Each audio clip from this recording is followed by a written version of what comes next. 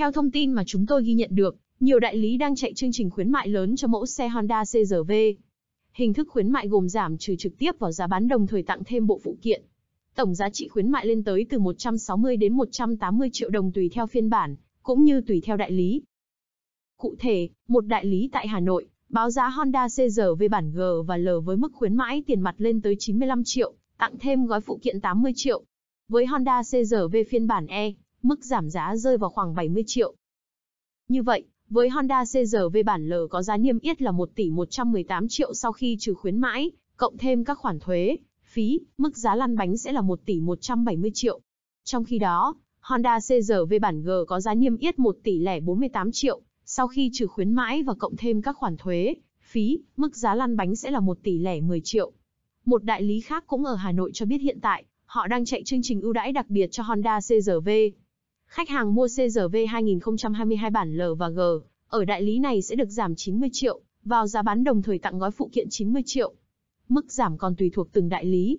Có đại lý ở Hà Nội giảm tiền mặt bản bản L lên đến 170 triệu trong đó, giảm tiền mặt tới 120 triệu kéo giá xe, từ 1 tỷ 180 triệu xuống còn 998 triệu kèm theo tặng 50 triệu tiền bảo hiểm, và phụ kiện đi kèm xe. Có nhiều thông tin cho rằng, phía đại lý đang cố gắng đẩy nốt số xe Honda CRV 2022 còn tồn, để chuẩn bị đón phiên bản 2023.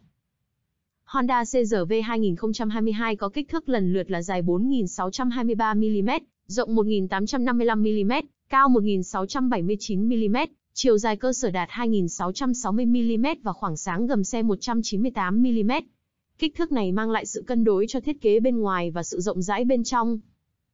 Xét tổng thể, ngoại thất của Honda CR-V 2022 khá mạnh mẽ với các đường gân dập nổi. Lưới tản nhiệt và phần cản trước của xe đã được tinh chỉnh, thêm chi tiết mạ chrome giúp tăng sự sang trọng, lịch lãm.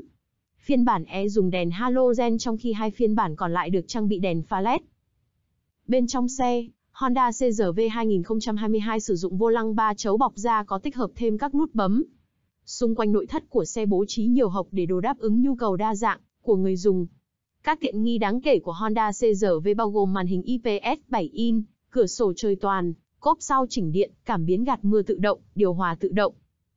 Tất cả các phiên bản Honda CRV đều dùng chung loại động cơ xăng 4 xi lanh, tăng áp, dung tích 1.5 lít, cho công suất tối đa 188 mã lực và mô men xoắn cực đại 240 Nm.